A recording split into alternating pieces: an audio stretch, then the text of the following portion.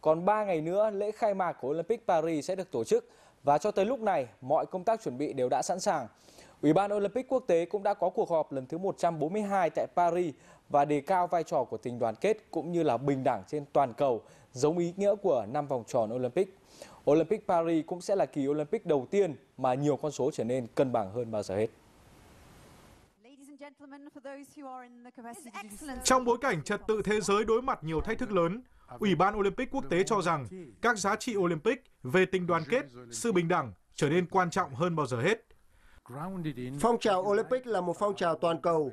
Trong phong trào Olympic, tất cả chúng ta đều bình đẳng. Olympic Paris sẽ là thế vận hội đầu tiên mà tính bình đẳng được hội tụ một cách đầy đủ nhất khi có đoàn thể thao những người tị nạn tham dự với số lượng đông kỷ lục, tạo ra sự gắn kết cho phong trào Olympic. Olympic Paris cũng là kỳ thế vận hội đầu tiên mà số lượng vận động viên nam và nữ tham dự bằng nhau.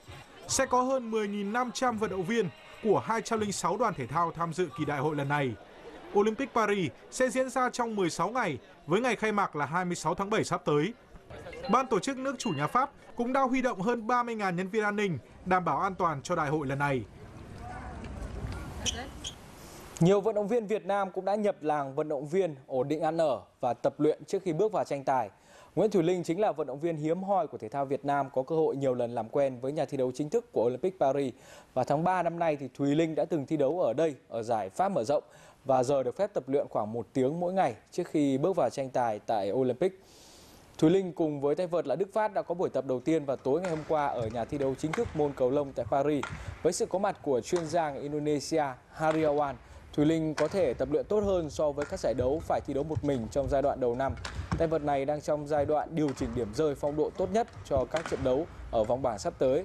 Ở Olympic lần này, Thùy Linh sẽ so tài với tay vợt hạng 11 thế giới Ben Wen Yang và Tiffany Ho hạng 82 thế giới. Lịch thi đấu cụ thể của vòng bảng sẽ được công bố vào ngày 25 tháng 7. Môn cầu lông và quần vợt đều bước vào tranh tài vào ngày 27 tháng 7 sắp tới. Nadal và Alcaraz đều đã nhập làng vận động viên có những buổi tập riêng trước khi ghép cặp với nhau cho nội dung đôn nam của môn quần vợt. Còn Novak Djokovic chọn cách tập luyện tại quê nhà Serbia dưới cây nóng 35 độ C. Đầu gối phải của anh cũng chưa ổn cho lắm sau chấn thương, nhưng mục tiêu của Djokovic thì không thay đổi, đó là tấm huy chương vàng. Sau thất bại tại Wimbledon trước Carlos Alcaraz, Novak Djokovic trở về quê nhà Belgrade tập luyện để hướng tới Olympic Paris 2024. Tay vợt người Serbia thậm chí tập vào cả thời điểm giữa trưa để thích nghi với nắng nóng bởi một số trận đấu tại Olympic sẽ diễn ra ở khung thời gian này. Vấn đề lớn nhất với Djokovic là chấn thương ở đầu gối phải. Tay vợt 37 tuổi vẫn chưa hồi phục hoàn toàn sau khi phẫu thuật vào tháng trước và việc đẩy nhanh quá trình thi đấu khiến anh chịu nhiều rủi ro.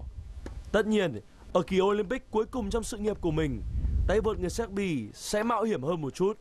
Novak Djokovic được xếp là dòng số 2 tại Paris sau tay vợt số 1 thế giới Yannick Sinner và những màn tranh tài ở môn quần vợt sẽ bắt đầu từ ngày 27 tháng 7 tới đây.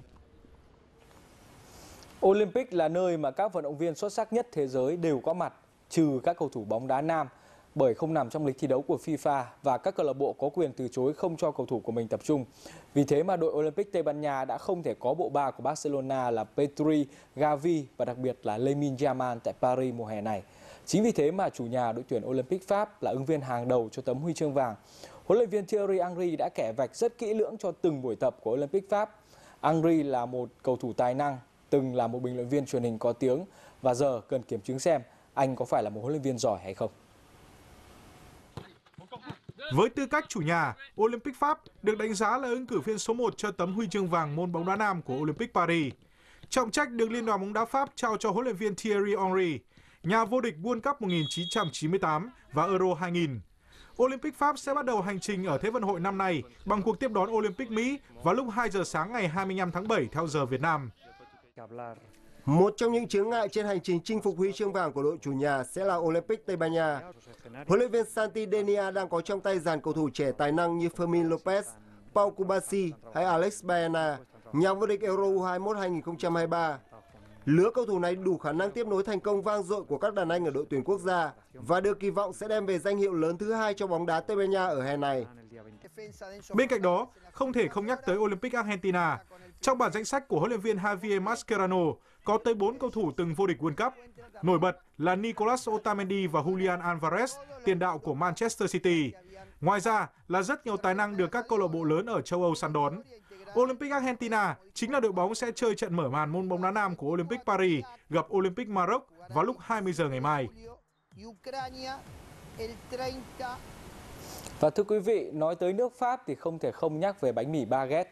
Không ăn bánh mì baguette thì cũng không phải là tới Paris nữa rồi. Mùa Olympic tới và những chiếc bánh mì baguette cũng mang tinh thần của Olympic. 2 euro cho một chiếc bánh mì hay là cho một con tem có hình bánh mì. Tất cả đều mang tới những kỷ niệm cho du khách tới đây. Những hình ảnh này cũng sẽ khép lại bản tin tối ngày hôm nay của chúng tôi. Kính chào tạm biệt quý vị. Một trong những cửa hàng bánh mì nổi tiếng của Paris đã mang tinh thần Olympic vào những chiếc bánh của mình. Những vòng tròn Olympic hay dòng chữ Paris 2024 được nướng ngay trên vỏ bánh.